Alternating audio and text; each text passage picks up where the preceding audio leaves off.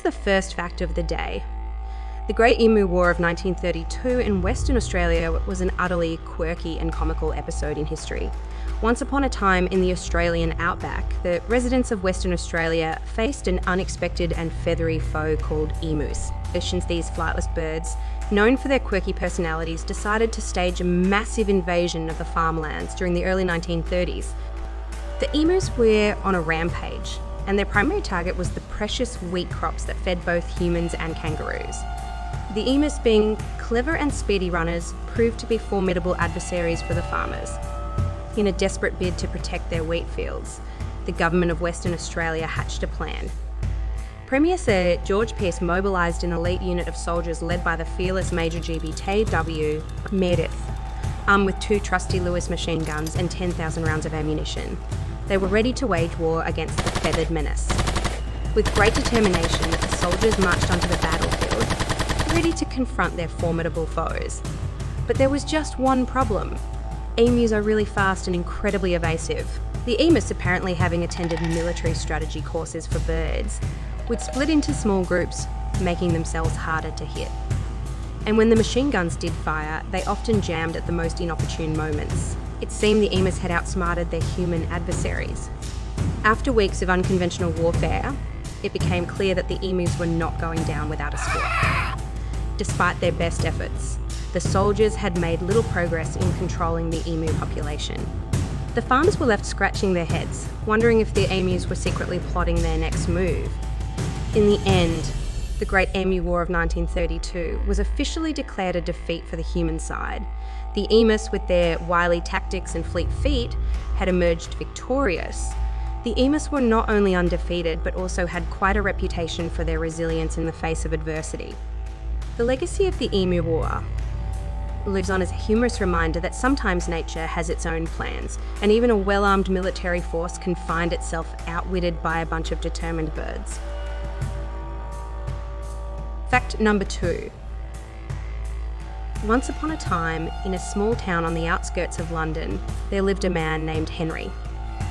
Henry was an eccentric individual with a penchant for bizarre ideas and a love for collecting oddities. He had a reputation in the town for his outlandish schemes and wild imagination. One day, as Henry was scrolling through eBay, he stumbled upon an idea that would become his most audacious endeavour yet. He noticed that people were selling all sorts of items on the platform, from vintage toys to rare coins. But what intrigued him most was the thought of selling an entire country. And not just any country, but New Zealand. Henry couldn't get the idea out of his head.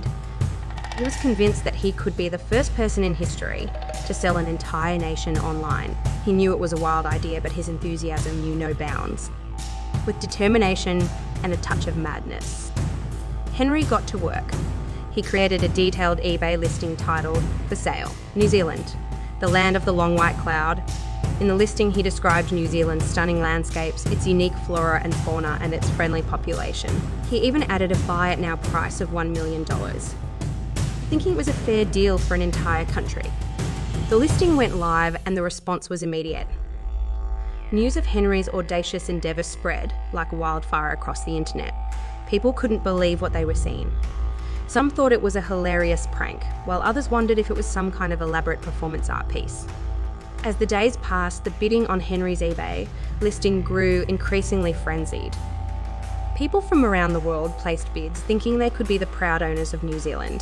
News outlets picked up the story, and reporters swarmed Henry's doorstep, eager to interview the man behind the audacious auction.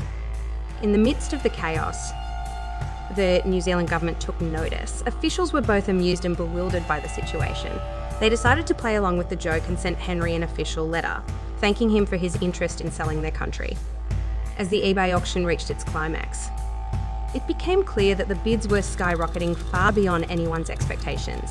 The price had surpassed $1 million and showed no signs of stopping. But just as it seemed like the impossible might become reality, a bidder with deep pockets and a sense of humour won the auction. The final bid was a staggering $10 million. It turned out that a wealthy entrepreneur from, from Australia had decided to join the fun and acquire New Zealand as a novelty item.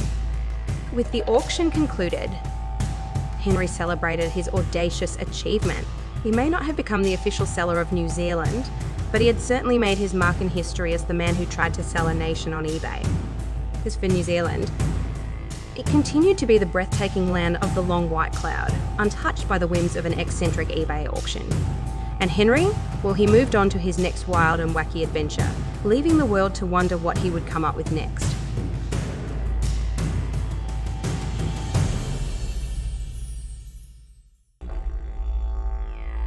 Here's fact number three. Once upon a time, in the vast and sunny Australian outback, there lived a group of kangaroos.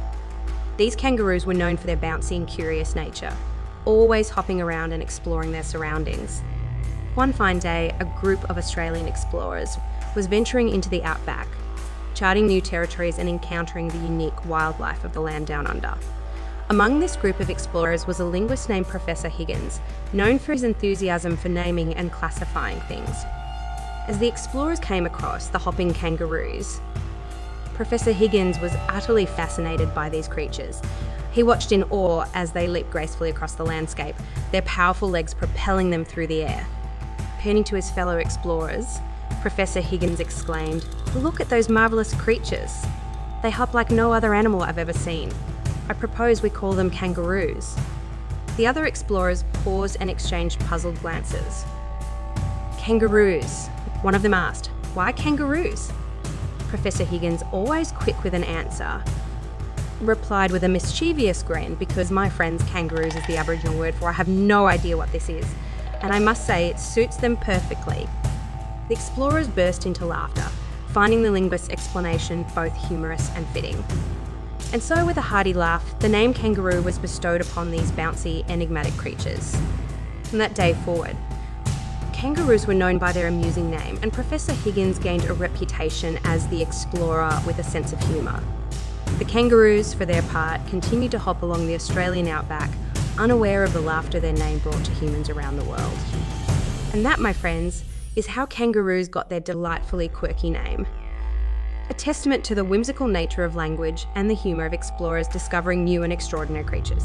Thank you for watching. If you enjoyed this video and want to see more interesting facts from around the world, please give us a thumbs up and subscribe. Don't forget to hit that notification bell so you won't miss our future videos. Your support means a lot to us. Stay curious and keep exploring.